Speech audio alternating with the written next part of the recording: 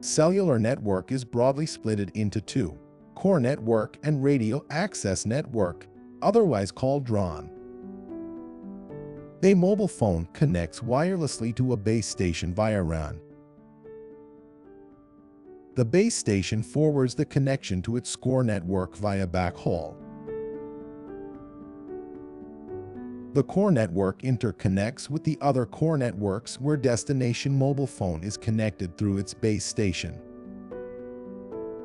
A core network can connect to single or multiple base stations. Radio access network can be further splitted into baseband and radio access technology, RAT. RAT uses a signaling format to wirelessly communicate with a mobile phone. For 2G mobile networks, the core is called 2G core.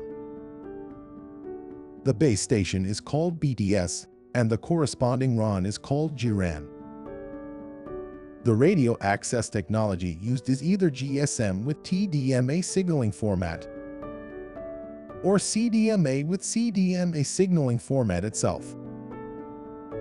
Similarly, for 3G, the core is UMTS core, base station is Node B, RAN is UTRAN, RAT is UMTS, and signaling format is WCDMA.